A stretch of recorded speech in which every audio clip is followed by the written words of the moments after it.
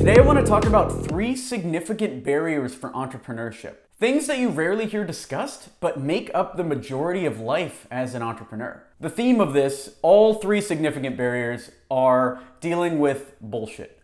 As soon as you decide to become an entrepreneur, or really as soon as I decided to become an entrepreneur, it seemed like the entire world was shaped on killing that dream.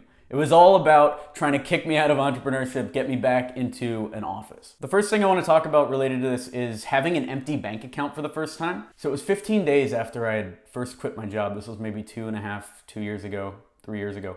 And I looked into my bank account and I saw that there was no money in it. I think there was maybe like $40 in there.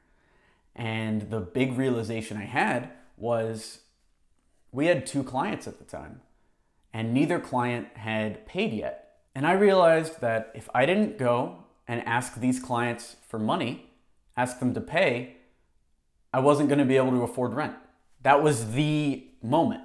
And that was one of the first times in my life where I actually worried about making rent because I was used to that weekly paycheck.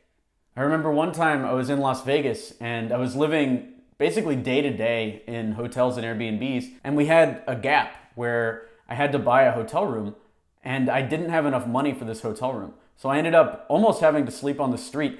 It was down to the wire at 12:01 a.m. the money finally cleared in the account and I was able to buy the hotel room. But it's those up and downs that really take a toll. So the other thing people don't talk about is being threatened with lawsuits. One was after Inspire Beats collapsed, the guy basically demanded 2000 bucks from me personally even though I wasn't on the business account and I, I gave it to him. I was scared. And then the other times are just disagreements with clients. Maybe they wouldn't have actually led to a lawsuit. But anytime anyone's threatening you with that legal action, that tears at you. That makes you want to quit entrepreneurship. That makes you want to go and get that cushy job, right? Like if you worked at Microsoft, you're not going to have to deal with getting sued. That's just not something you're going to have to deal with.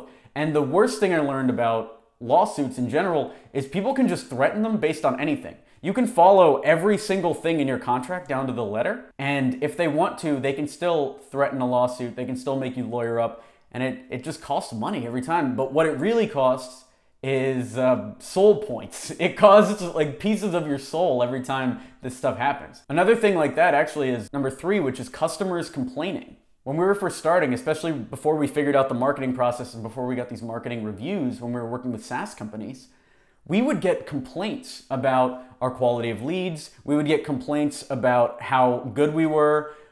Let's say it takes 45 days to get new meetings on the calendar. By day 15, people would want refunds. Before we did year long contracts, people would want to cancel after a month with no results. And a lot of it we fixed by laying out better expectations. For an agency, you're probably not going to see an ROI for six to 12 months, but when you do, it's going to be a huge ROI. So you need to have patience there. So it's really figuring those out. But again, each one of those complaints hurts because you own this business. This is something that's got your name on it, where obviously you want people to succeed. You're not in it to rip people off. So when they complain, that hurts. Let me know in the comments. Do you have any similar stories like this? Is there anything that new entrepreneurs should know that nobody really talks about? Let me know in the comments. Also, if you have any questions about any of these, I think they'd make good video topics as well. If you found this valuable, be sure to like it to encourage this type of content on YouTube, subscribe for more B2B sales training, and if you need marketing support for your digital agency, check out experiment27.com. Thanks.